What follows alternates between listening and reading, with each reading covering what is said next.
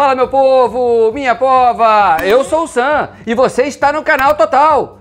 Joga pra cá esse teu sorriso lindo e assim já posso dar minha missão por cumprida. Não vamos perder nem mais um segundo, porque hoje o tema promete. Então, bora pra quebrada! Hoje a gente mergulha de cabeça na nerdice, concretamente no mundo dos videogames, claro.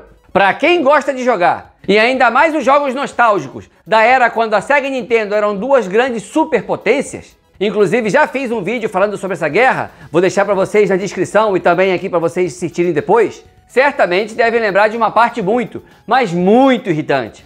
Os tilts. Bem, irritante, mas também engraçada.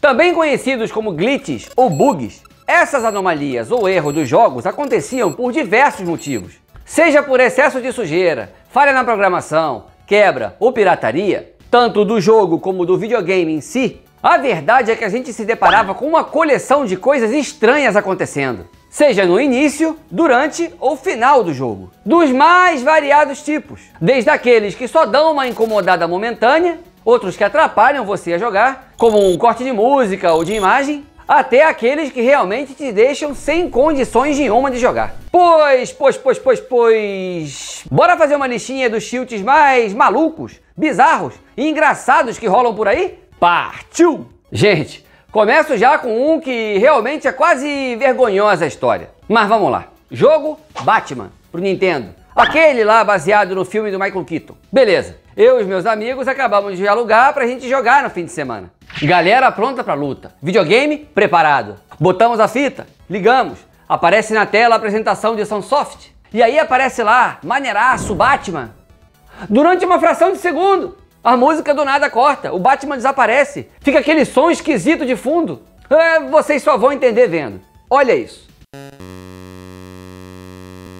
Então, nesses casos, qual é o procedimento standard do Game Maníaco? Vamos pro ritual. Tira o cartucho, assopra, põe de novo. Não funciona? Sem problema. Tira, assopra de novo. Agora com mais força e por mais tempo dá também aquela sacudida básica por via das dúvidas, na verdade não serve para nada balançar, e tenta de novo.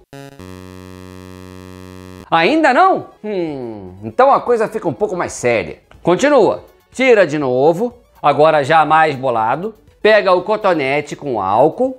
Alguns mais profissionais tinham aquele líquidozinho especial para isso. Eu ia no álcool mesmo. Funcionava igual e era muito mais barato. Aí você via a sujeira toda no cotonete. Alguns ficavam até preto mesmo. Pronto, agora tem que funcionar. Não! Que isso? Impossível! Agora o assunto é pessoal. Tira. Já não assopra. Olha bem, com cara de especialista. Passa de novo o cotonete. Só que agora mais devagar e com mais cuidado. Vai sair sujo de novo. Incrível, você pode passar 100 vezes que sempre vai sair alguma coisa, cara. Olha de novo, só para dar aquela conferida. Coloca o cartucho com muito cuidado. Verifica se está direitinho e se prepara para o momento de apertar o botão do on. Enquanto por dentro você está suspirando de expectativa. Liga e.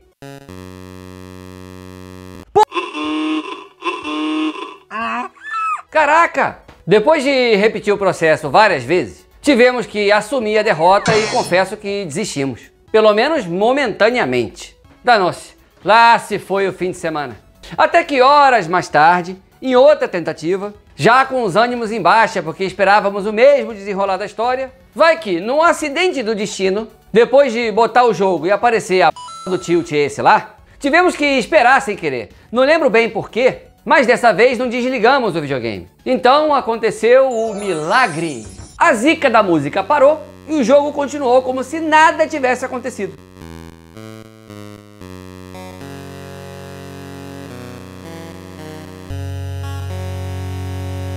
Resumindo, nunca teve nenhum problema. O jogo estava perfeito. A apresentação que era zicada dessa maneira. Ai, não me venham convencer que aquilo lá era uma coisa normal, não. Era só um bug que os programadores deixaram rolar, já que não atrapalhava em nada o jogo. A única diferença era que você não podia começar a jogar. Só isso. Passado esse teste de fé, então você já estaria preparado e escolhido para desfrutar do jogo. Ah, o jogo era bom? Sim, era maneiro sim, bem legal, valeu a pena. Continuando na linha dos 8 bits, o nosso querido Mario Bros também tem seu tilt brabo. Mais que um glitch, na verdade é um segredo de um outro segredo. Todo mundo conhece o truque para avançar de fase, ainda nas primeiras fases do jogo, onde passamos por cima do display e chegamos aos três tubos que dão acesso ao Warp Zone. Ali, você podia ir para os mundos 2, 3 ou 4, dependendo de qual cano escolhesse. Mas esse segredo também tinha um outro segredo. E esse eu confesso que eu não conhecia. Olha que louco! Você tinha que colocar o Mario agachado numa posição concreta,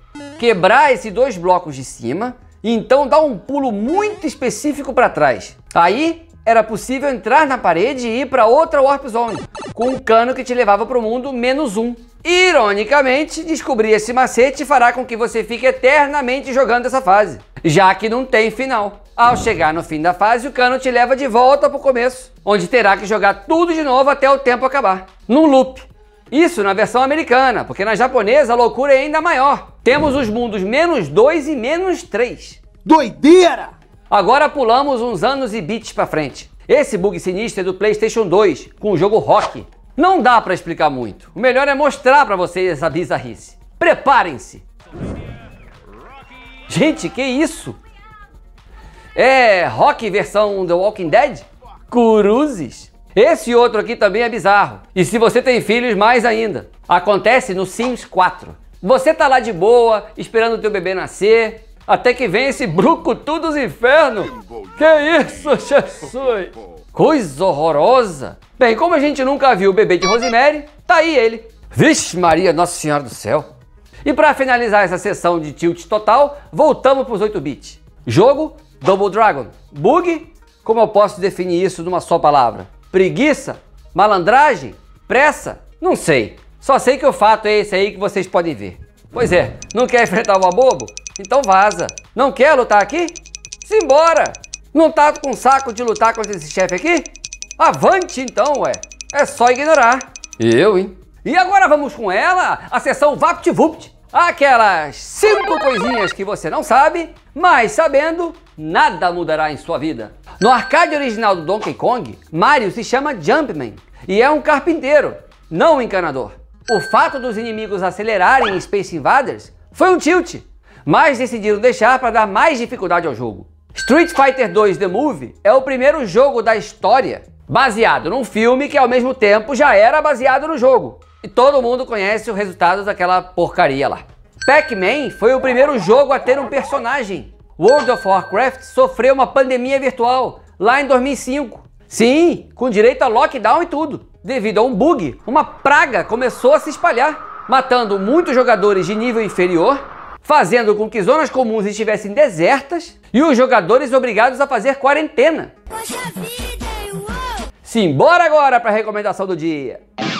De tanto que a gente falou nesses glitches, que eram mais comuns nos jogos do passado, nada mais correto que recomendar uma viagem no tempo.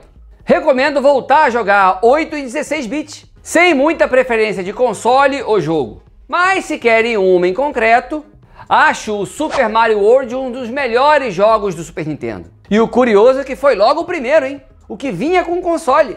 Já começaram com o pé na porta. Tô jogando de novo com as minhas princesinhas. E óbvio que estão adorando. E tem muita coisa que eu nem lembrava. Então tá muito legal curtir tudo isso de novo. Variedade de fases, desafios, dificuldade alta, segredos, chefes variados. Pô, Super Mario World é para todas as idades, galera. Muitas horas de diversão garantidas. E agora com os remakes e as novas versões do Mario para diferentes plataformas, as opções são quase infinitas. Tem muito jogo do Mario, gente. Já até me perdi. Se contar as versões dos consoles, Android, iPhone escambau, já são quase 170 jogos diferentes. Cacildes! E aí, gostou?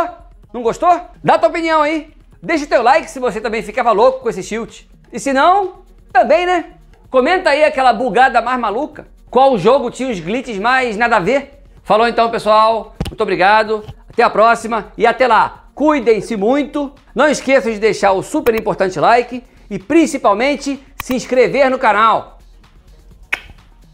Beijo!